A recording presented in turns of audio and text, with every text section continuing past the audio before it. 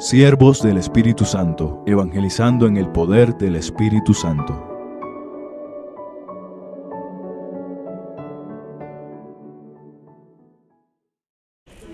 Buen día, queridos hermanos, la gracia del Señor con cada uno de ustedes en este 8 de enero.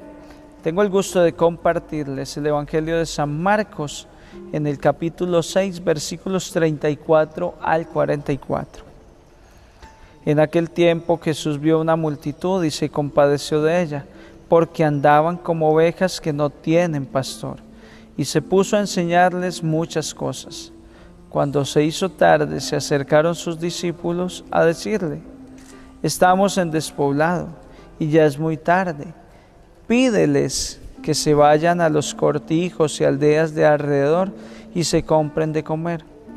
Él les contestó, dadles vosotros de comer. Ellos le preguntaron, ¿vamos a ir a comprar 200 denarios de pan para darles de comer? Él les dijo, ¿cuántos panes tenéis? Id a ver. Cuando lo averiguaron, le dijeron, cinco y dos peces. Él les mandó que la gente se recostara sobre la hierba verde en grupos. Ellos se acomodaron por grupos de cien y de cincuenta. Y tomando los cinco panes y los dos peces, alzando la mirada al cielo, pronunció la bendición, partió los panes y se los iba dando a los discípulos para que se los sirvieran y repartió entre todos los dos peces. Comieron todos y se saciaron y recogieron las sobras, doce cestos de pan y de peces. Los que comieron eran cinco mil hombres. Palabra del Señor. Gloria a ti, Señor Jesús. Hermanos, ¿cuántas veces nos pasa como a los discípulos?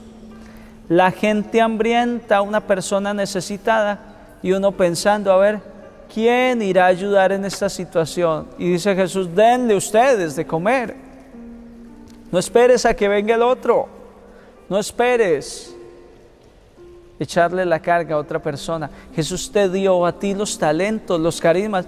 Y si Dios te pone cerca a una situación adversa es porque Dios sabe que tú la puedes resolver. Si Dios pone cerca a ti una persona con necesidad, con hambre, es porque Dios confió de que tú tienes el recurso para hacerlo. Ahora bien, lo difícil es uno creer que el recurso que tiene es suficiente. A ellos no les parecía suficiente. Cinco panes y dos peces.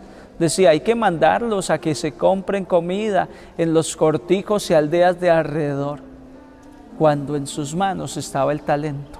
Solo faltaba compartirlo. Si hubieran mandado a la gente, la hubieran despachado a que compre, a que vayan a casa, los discípulos lo más seguro hubieran compartido con Jesús los cinco panes y los dos peces y no hubieran visto ningún milagro. Sin embargo, cuando se decidieron a compartir, vieron el milagro de Dios. Es que los talentos que Dios ha puesto en nuestra vida solo se verán, solo se descubrirán en el momento en que nosotros empecemos a ponerlos al servicio del reino mientras tengamos el talento oculto, guardado, esperando, no, esto le toca al padrecito, esto le toca a la monquita, esto es para el hermano que evangeliza aquí en mi sector. Y no pienso que soy yo el que le tengo que dar de comer a una, comunidad, que como padre de la familia yo mismo puedo dar testimonio.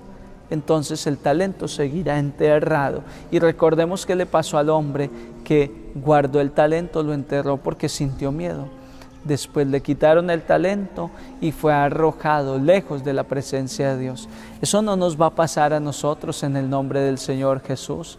En el nombre del Señor Jesús yo declaro de que cuanto antes empezamos a servirle al Señor, a poner nuestro talento al servicio.